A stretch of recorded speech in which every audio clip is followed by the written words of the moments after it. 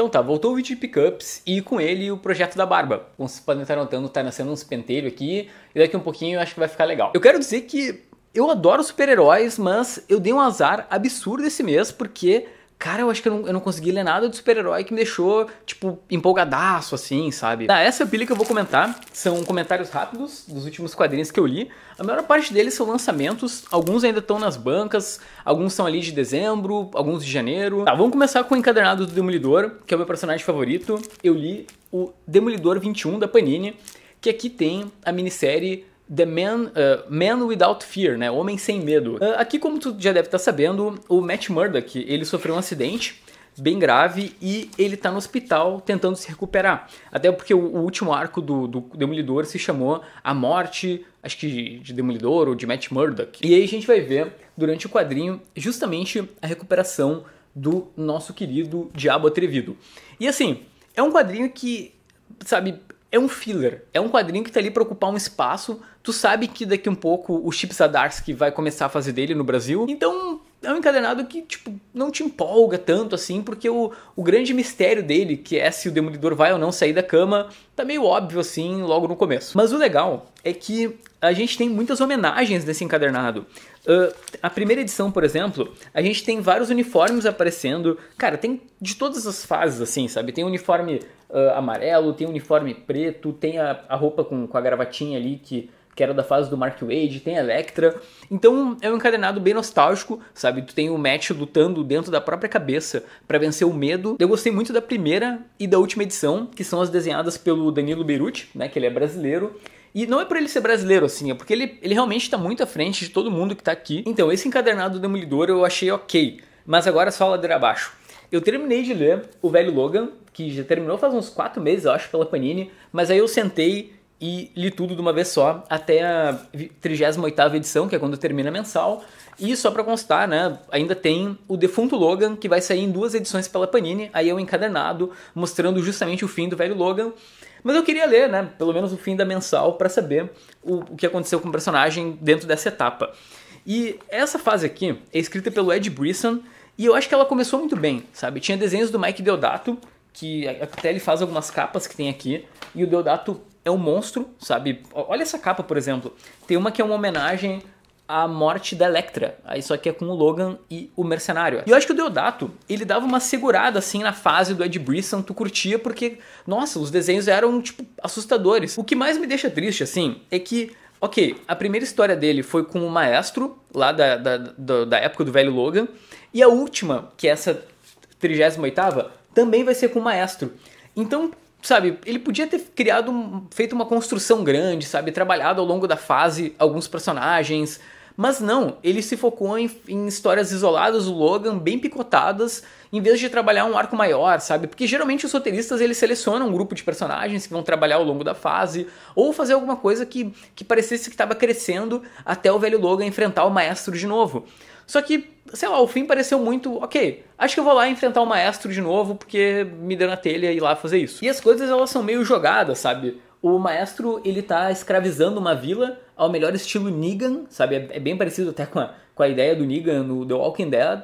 E aí o velho Logan chega lá, sabe? Ninguém sei lá, ninguém avisou os Vingadores que, o, que ele tava fazendo isso com, com o pessoal de lá. Mas aí o velho Logan aparece, eles quebram um pau. Tá, spoiler o maestro, ele chega. Tem uma hora que o maestro joga o velho Logan numa vala, sabe? Tipo, pra enterrar ele. E não sei, será que ele não sabe que o Wolverine se regenera? Sabe? Ficou muito tosco assim. E se tu quer saber o final, o final é só o velho Logan cortando fora a cabeça do maestro. Até uma cena bem legal. Os desenhos são muito bons. E aí acabou. Era isso. Em resumo, o que foi realmente legal de acompanhar do velho Logan? A fase do Jeff Lemire. Ali a fase do Jeff Lemire é muito boa. Acho que toda ela é, empolgante. Mas aí chegou no Ed Brisson e, tipo, cara, não, nada a ver. Tá, agora vamos pra uma decepção, que é uma decepção minha, mas eu entendo total. Eu não sei se você sabe disso, mas começou uma nova fase na Detective Comics e a Panini tá publicando agora encadernados. E a trama, ela é muito interessante, assim, sabe? No, no começo a gente tem o Batman e o Gordon investigando um assassinato que imita a morte dos Waynes, sabe? Tipo, algum assassino muito louco resolveu imitar perfeitamente, sabe? Até o buraco da bala, tudo, tudo, pra, sei lá, apavorar o Bruce ou, ou o cara meio maluco mesmo. E aí, isso me chamou muita atenção no começo, sabe? Nossa, eu vou ver uma trama de detetive com desenhos incríveis e, e, sabe, um caso mega curioso. Por que, que o cara vai criar um assassinato igual dos pais do Bruce? Eu não vou dar spoiler, mas, assim, não vai para esse lado a trama, sabe? Ela vai para uma envereda para um outro lado e aí o encadernado não entregou exatamente o que ele se propôs no começo. Mas assim, teve muita gente que gostou, sabe? Eu, eu vi que, que, meio que esse encadernado dividiu opiniões pelo final dele. Homem-Aranha. Uh, parei minha vida para ler duas edições do Homem-Aranha do Nick Spencer. Agora tô fazendo algumas maratonas com as mensais para, porque tem um monte de coisa acumulada, eu tenho que ler de uma vez. E nossa, eu li agora há pouco esse novo Homem-Aranha que tá nas bancas, que é o Homem-Aranha do Tom Taylor, que até a Panini lançou agora encadernado, né? São, são dois encadernados para fechar a fase. E foi muito legal de ler. Assim, eu me diverti muito. É o Homem-Aranha raiz, é uma trama mais, tipo, vizinhança. Mas esse Homem-Aranha do, do Link Spencer tá tão sem graça, assim não sei explicar, sabe? Não tem envolvimento emocional, não a própria trama de aventura do Homem-Aranha não, não me empolga muito. E se a gente pegar as fases recentes que eu li do Homem-Aranha, por exemplo, o Homem-Aranha do Tom Taylor é mais legal que esse. O Homem-Aranha do Chip Zdarsky, que a Panini lançou agora os últimos dois encadernados, é muito mais legal, assim, sendo que ele usa a irmã escrota lá do Peter que, tipo, ninguém se importava e a personagem cresceu e ficou legal na história. E aí o Nick Spencer tem, tipo, o título principal e pelo menos eu não fiquei tão empolgado, assim. Tá, uh, agora vamos para um título de super-herói que eu gostei muito, que na verdade é das antigas, que é o Batman Ego da editora Mitos. Primeiro eu quero mandar um abraço pro meu amigo Bruno Rippel, que me deu no Amigo Secreto essa edição. Eu queria muito tempo o Batman Ego, é um quadrinho que eu não tinha na estante, e agora tem, tá? Fiquei muito, muito feliz. E eu resolvi ler, porque, tipo, todo mundo fala que a história é maravilhosa, né? Do Darwin Cook. E assim, é 10 de 10. Não tem como tu fazer um top 5 do Batman e tu não ter o Batman Ego entre as melhores histórias, porque isso aqui é um absurdo. É o Batman entrando. É, é o Batman entrando na mente do Bruce, sabe? É uma disputa entre os dois dentro da Batcaverna, onde o Batman quer levar o Bruce para resolver os problemas, sabe? Tipo, sei lá, matar o Coringa de uma vez. E o Bruce tentando enfrentar essa, esse, essa possibilidade de, de, tomar o caminho mais fácil. Aí, isso é uma coisa legal pra Panini republicar. Muito mais legal que aqueles Batman no ar, que tipo, mesmo quadrinho que já saiu em preto e branco, ela podia dar um jeito de publicar o Batman Ego. Tá, agora saindo um pouco dos quadrinhos super-heróis, eu vou falar um pouquinho sobre uma revista de super-heróis que é a Mundo dos Super-Heróis. Essa edição ela é mais antiguinha, eu acho que ela não tá nas bancas. A, a edição atual, na verdade, é sobre o Coringa, mas uh, essa edição da Viúva Negra já saiu há algum tempo. E eu quero mandar um abraço pro Gustavo Vícola, que me mandou a edição. Na prática, ele, ele começou a me mandar, né? Nós conversamos um dia num evento. Ah, vamos fazer alguma parceria, sabe? Tipo, tenho dois quadrinhos, eu gosto muito da Mundo dos Super-Heróis, eu acompanho há um tempão. E aí ele, cara, eu posso te mandar algum exemplar. E tá aqui. Se tu não sabe, essa é uma das revistas mais legais. Na verdade, ela, ela ocupa um pouco no meu coração o espaço da Wizard, que era uma revista ótima justamente sobre o mundo dos quadrinhos. E a gente tem matérias especiais, não, e não é um, um, uma revista só sobre filmes, sabe? Claro, eles usam o filme para chamar atenção, né? O filme da Viúva Negra, mas ela é muito especializada em quadrinhos, sabe? Tem matérias ótimas, por exemplo, tu tem como estar por dentro dos últimos lançamentos, então eles têm uma, uma parte só de, de, lançamentos de quadrinhos no Brasil. Tem, por exemplo, uma matéria especial sobre Lanterna Verde do Morrison. E são caras que realmente entendem de quadrinhos, assim. São caras que estão no meio, jornalistas. O Heitor Pitombo, que é um baita de um parceiro, assim, um cara mega inteligente e que manja muito. O Gustavo, agora o editor, ele era editor da Panini. Ele editava o Batman. Então é isso. Dá uma lida no mundo dos super-heróis, tá? De verdade que...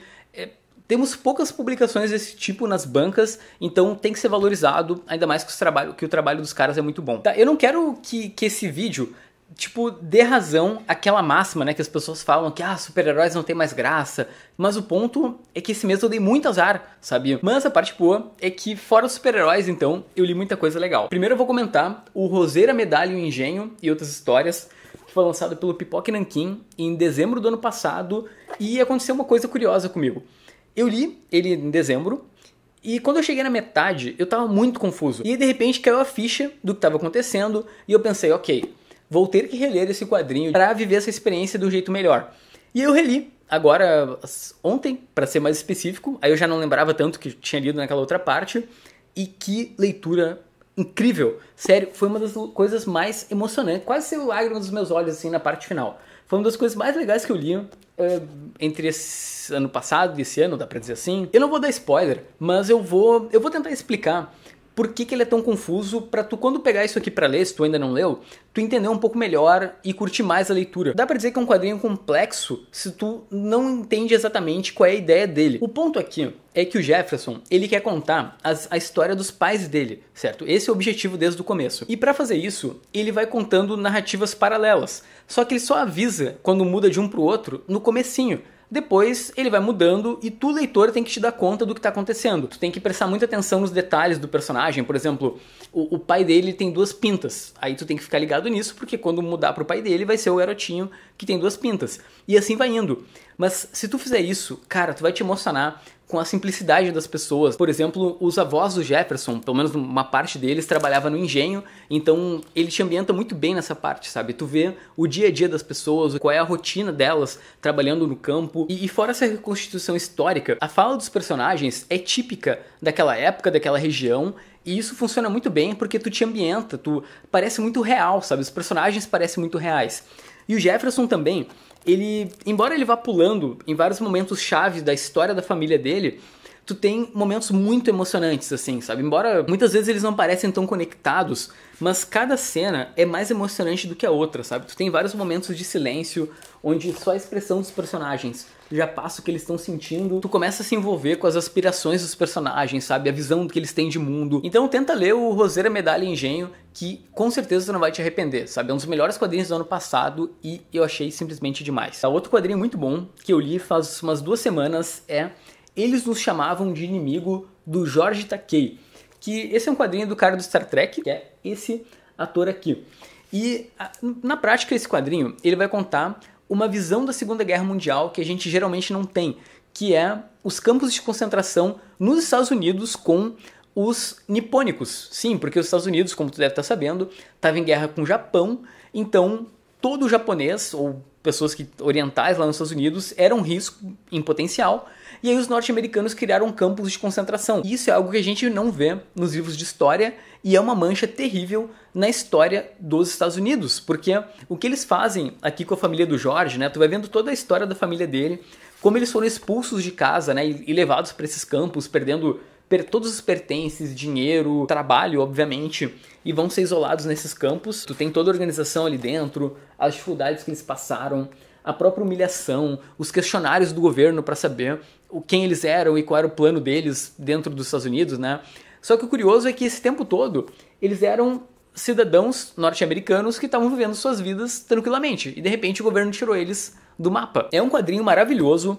Eu acho que o único defeito que eu, que eu, que eu colocaria é, são os desenhos, sabe? Eu acho que os desenhos não são tão bons. Não, não é um traço ruim, mas é um traço mais básico, assim. E eu acho que se essa história tivesse na mão de um grande desenhista, isso aqui seria inacreditável, assim, de, de tão bom. Mas de qualquer forma, eu gostei muito, então eu recomendo que tu leia o Eles Nos Chamam de Inimigo. Ah, esse mesmo eu também dei uma lida no Tanka da editora Figura, que é esse quadrinho de samurai aqui.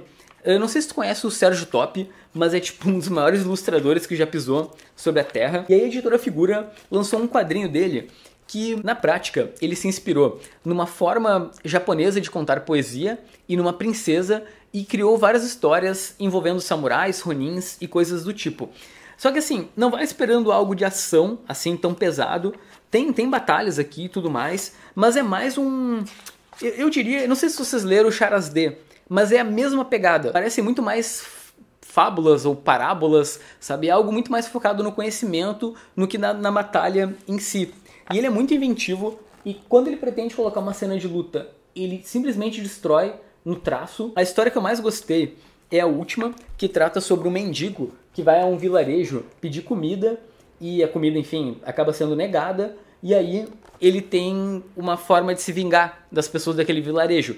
E não é um, nem um pouco legal, assim, o, o que acontece. Então, se tu quer ler uma história de samurais mais reflexiva, eu acho que o Tanka é uma boa leitura para ti. Ah, e para terminar, tem uma releitura que eu fiz da editora Mino, que é o Mundo Urbano. Sim, é um quadrinho que foi relançado na CCXP, né, uma edição especial de 10 anos, e que eu sou muito fã. E agora eu fiquei muito feliz que eles pretendem retomar o mundo urbano e vai ter mais edições ainda no futuro. Cara, se tu curte rock, sabe, é, é, é o quadrinho pra ti. Toda a trama se baseia nesse cara aqui, que é um grande músico que aparentemente fez um pacto com o demônio. Ele tá para fazer um grande show, assim, que vai, tipo, cara, abalar as estruturas do país. E aí, durante o quadrinho, tu vai ver vários pontos de vista diferentes de pessoas que vão para esse show, sabe? Desde o cara que vai vender o ingresso, o cara que vendeu a guitarra para ele, os caras que vão ao show, tipo a mina que é mega fã da banda. É tipo aquele filme ponto de vista. Aí tu vai juntando os fragmentos que tu tem das histórias de cada um e aí vai envolver morte, demônio, coisas assim, para entender a história do Van Hudson e o que, que realmente vai acontecer nesse show. Cara, eu acho maravilhoso, assim, que bom que a Mino relançou. É uma leitura que eu acho que vale a pena se tu ainda mantém aí o espírito do rock em tempos onde, tipo, cara, rock parece estar tá morrendo, né? Nem, nem na rádio mais toca rock. Tá, tá acabando a bateria. Uh, fui, foi muito bom te ter por aqui. Tchau, tchau.